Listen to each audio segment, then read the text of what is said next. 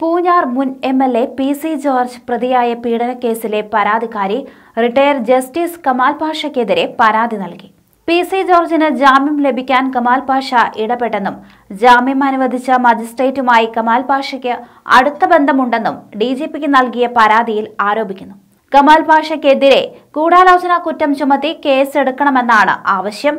രാവിലെയായിരുന്നു പരാതി നൽകിയത്. കോടതി ജീവനക്കാരെ അടക്കം സ്വാധീനിക്കാൻ കമാൽ പാഷ ശ്രമിച്ചുവെന്നാണ് പരാതിക്കാരിയുടെ ആരോപണം. കേസിൽ പി സി ജോർജിന് ജാമ്യം ലഭിച്ച ശേഷം ചില മാധ്യമങ്ങളിലൂടെ കമാൽ പാഷ നടത്തിയ പ്രതികരണങ്ങൾ സ്വാധീനത്തിന്റെ തെളിവുകളായാണ് പരാതിക്കാരി ചൂണ്ടിക്കാണിക്കുന്നത്. പി സി ജോർജിന് ജാമ്യം കിട്ടിയ ദിവസവും പിറ്റേന്നും കമാൽ പാഷ മാധ്യമങ്ങളിൽ നടത്തിയ പരാമർശങ്ങൾ സംശയകരമാണെന്ന് പരാതിക്കാരി ചൂണ്ടിക്കാണിച്ചു.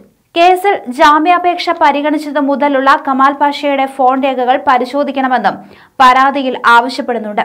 അതേസമയം മാധ്യമപ്രവർത്തകയോട് അപമര്യാദയായി പെരുമാറിയതിന് പി സി ജോർജിനെതിരെ പോലീസ് കേസെടുത്തു. കൈരളി ന്യൂസിന്റെ തിരുവനന്തപുരം റിപ്പോർട്ടറുടെ പരാതിയിലാണ് മ്യൂസിയം പോലീസ് കേസെടുത്തത്. സ്ത്രീത്വത്തെ അപമാനിച്ചതിന് ഐ പി സി അഞ്ഞൂറ്റി ഒൻപത് വകുപ്പ് പ്രകാരമാണ് കേസ്. മൂന്ന് വർഷം വരെ തടവ് ശിക്ഷ ലഭിക്കാവുന്ന കുറ്റമാണ് പി സി ജോർജിനെതിരെ ചുമത്തിയിരിക്കുന്നത്. പീഡന പരാതിയിൽ അറസ്റ്റ് ചെയ്തതിന് ശേഷം തൈക്കാട് ഗസ്റ്റ് ഹൌസിന് മുന്നിൽ മാധ്യമങ്ങളോട് സംസാരിക്കവെയായിരുന്നു പി സി ജോർജ്. മാധ്യമപ്രവർത്തകയോട് അപമര്യാദയായി പെരുമാറിയത്. പി സി ജോർജ് പരാതിക്കാരിയുടെ പേര് വെളിപ്പെടുത്തിയത് ചോദ്യം ചെയ്തപ്പോഴാണ് മാധ്യമപ്രവർത്തകയ്ക്കെതിരെ വിവാദ പരാമർശം നടത്തിയത്. പരാതിക്കാരിയുടെ പേര് പറയുന്നത് ശരിയാണോ എന്ന് ചോദിച്ച വനിതാ റിപ്പോർട്ടറോട് എന്നാ പിന്നെ നിങ്ങളുടെ പേര് പറയാം എന്നായിരുന്നു ജോർജിന്റെ പ്രതികരണം. ഇത് മര്യാദയല്ല എന്ന് മാധ്യമപ്രവർത്തകർ പറഞ്ഞപ്പോൾ മര്യാദയല്ലെങ്കിൽ മര്യാദകേട് തീർന്നല്ലോ എന്നായിരുന്നു മറുപടി.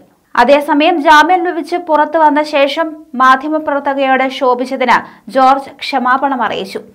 നിരപരാധിയായ എന്നെ പോലീസ് പിടിച്ചു കൊണ്ടുവന്നപ്പോഴുള്ള എന്റെ സങ്കടം പറയുമ്പോൾ ഒരു കൊച്ചനുജത്തിയോട് സ്നേഹമില്ലാതെ പെരുമാറി. ഈ കൊച്ചനുജത്തിയെ പോലെ കണ്ട പെൺകുട്ടിയാണ് എനിക്കെതിരെ കേസ് കൊടുത്തത്. ഇത് അന്വേഷിക്കണമെന്ന് Kerala Janapaksham secular chairman P C George പറയുകയുണ്ടായി. അതേസമയം തന്നെ മുഖ്യമന്ത്രിക്കെതിരെ ഗുരുതര ആരോപണവുമായി പി സി ജോർജ് കഴിഞ്ഞ ദിവസം രംഗത്തെത്തിയിരുന്നു. മുഖ്യമന്ത്രി പോയ ശേഷമോ അതിനു മുൻപോ മുഖ്യമന്ത്രിയുടെ മകൾ ഈ രാജ്യങ്ങളിലെത്തും. ഫാരീസ് അബൂബക്കറിന്റെ നേതൃത്വത്തിൽ വൻ സാമ്പത്തിക റാക്കറ്റ് നടക്കുന്നുണ്ട്. മുഖ്യമന്ത്രിക്കും മകൾക്കും ഇതിൽ പങ്കുണ്ടെന്നും ജോർജ് പറഞ്ഞു. എന്ത് വില കൊടുത്തും ആരോപണങ്ങൾ തെളിയിക്കും.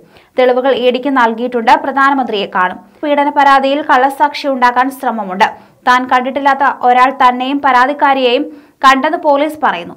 തന്റെ ഭാര്യയെയും കേസിൽപ്പെടുത്താൻ ശ്രമമുണ്ട്. അതും നിയമപരമായി നേരിടും. തനിക്കെതിരെയുള്ള കള്ളക്കേസാണ് ഇതെന്നും പി സി ജോർജ് പറഞ്ഞു.